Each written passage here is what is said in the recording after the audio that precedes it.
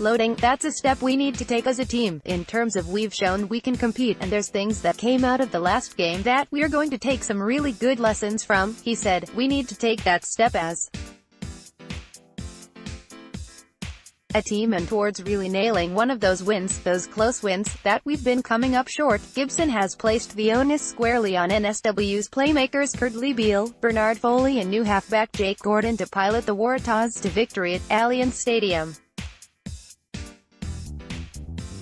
The coach felt his game managers let the Crusaders off the hook in Christchurch. We felt we didn't relieve the pressure on our team, he said.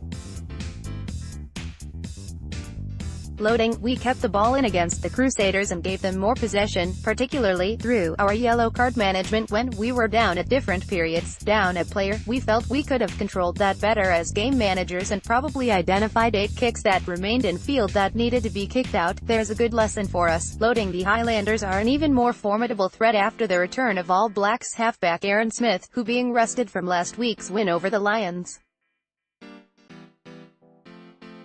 Gordon is on guard after replacing Nick Phipps as Gibson continues to rotate his number 9s. You always match up against the opposition.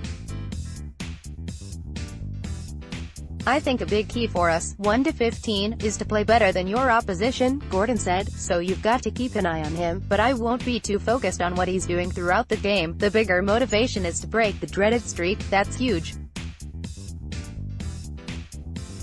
That's been our aim, Gordon said. The two performances we've put ourselves in positions to win it and things haven't gone our way, which is a bit frustrating. I feel like we're just a little bit off at the moment. If we can put that together, we'll definitely win. Or Rugby Highlanders.